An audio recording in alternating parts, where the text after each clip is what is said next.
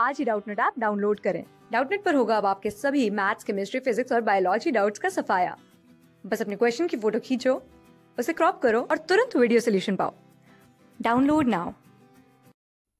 इस क्वेश्चन में हमसे पूछा गया है कि what do you understand by the first part है medium wave band and second is short wave band तब हम सबसे पहले देखेंगे कि मीडियम वेव बैंड क्या होता है।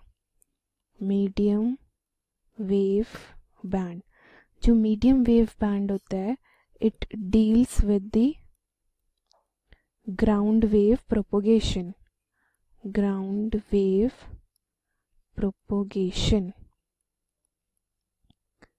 और सेकंड क्या है? They travel directly from the surface of the earth travel directly following surface of earth और थर्ड पॉइंट है कि इनकी फ्रीक्वेंसी रेंज क्या होती है? तो frequency ranges up to 1710 kilo hertz तो ये होती है हमारी frequency range for the medium wave band because they uses the ground wave propagation अब सेकंड हमसे पूछा था कि शॉर्ट वेव बैंड क्या होता है? शॉर्ट वेव बैंड तो शॉर्ट वेव बैंड होता है that deals with the sky wave propagation deals with the sky wave propagation अब सेकेंड पॉइंट है, ये ट्रैवल करते in the sky and are reflected back by the ionosphere travel in the sky and reflected by ionosphere.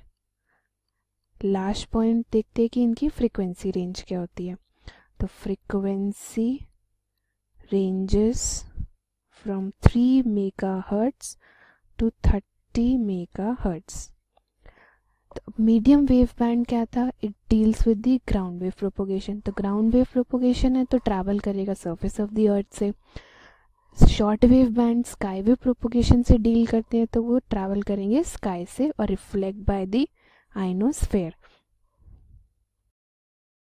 class six से twelfth से लेके NEET I I T JEE mains और advance के level तक, दस मिलियन से ज़्यादा स्टूडेंट्स का भरोसा. आज ही डाउनलोड करें डाउट नेट ऐप या व्हाट्सएप कीजिए अपने डाउट्स आठ चार सौ चार सौ चार सौ पर.